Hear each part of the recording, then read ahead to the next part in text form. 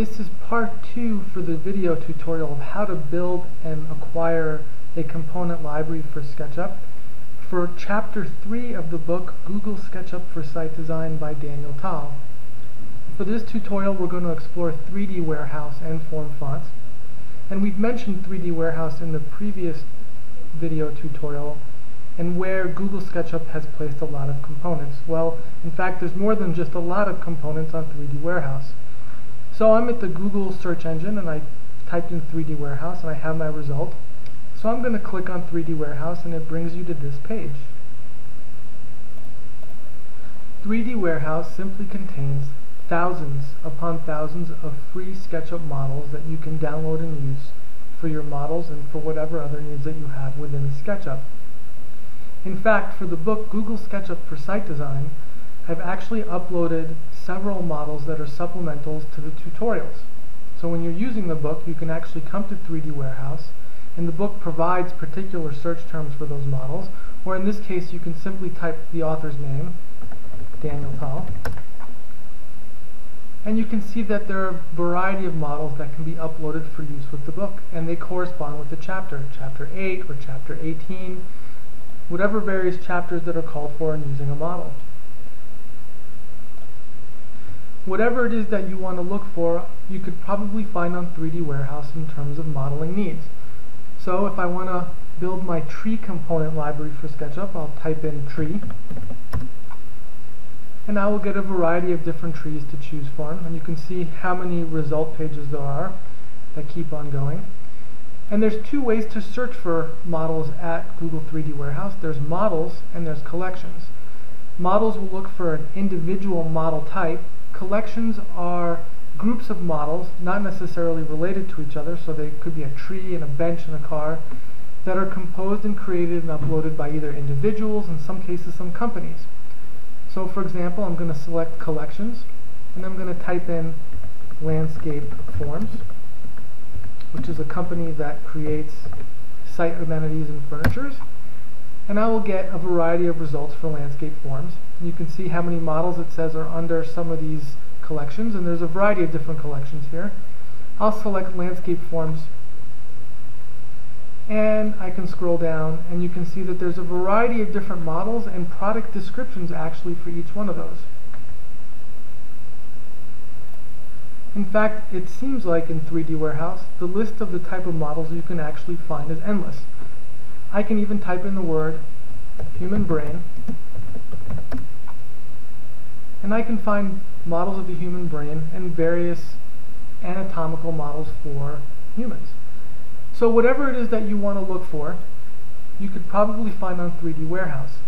Now, 3D Warehouse is also compatible and usable within SketchUp, which we already showed in the previous part 1 of this video, but I will demonstrate the various forms you can access 3D Warehouse from SketchUp. So there's a couple of ways to access 3D Warehouse from SketchUp.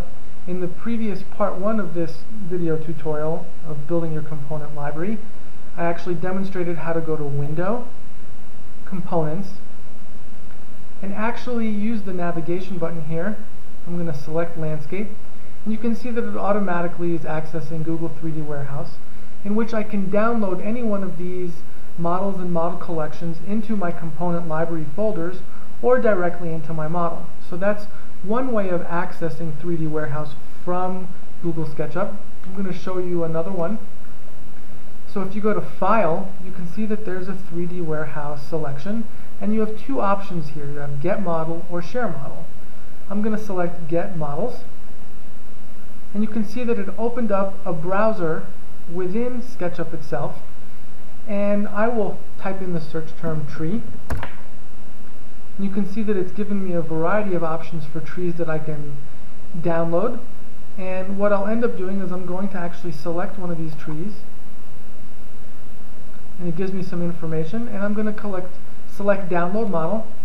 And I'll be asked if this is okay to directly load it into my SketchUp model, I'm going to hit yes. And it'll begin to download it, and it will place it directly into my model.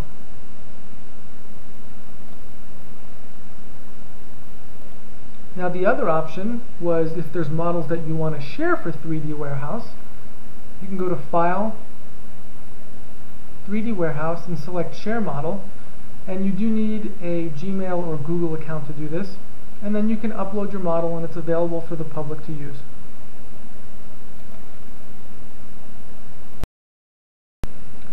The last place I want to review where you can get SketchUp models is at a location called formfonts.com www.formfonts.com If you're a serious SketchUp modeler or a professional, this is probably the best place for you to download models from. It is a subscription site and the subscription fee is very nominal, but you can download high quality reusable components that are not available anywhere else to do a quick search, I'll just simply type in the word people.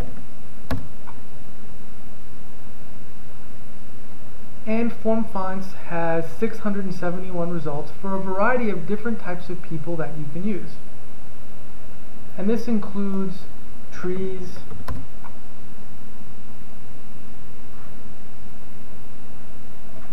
and shrubs, and just about any kind of object that you wish to use in a model.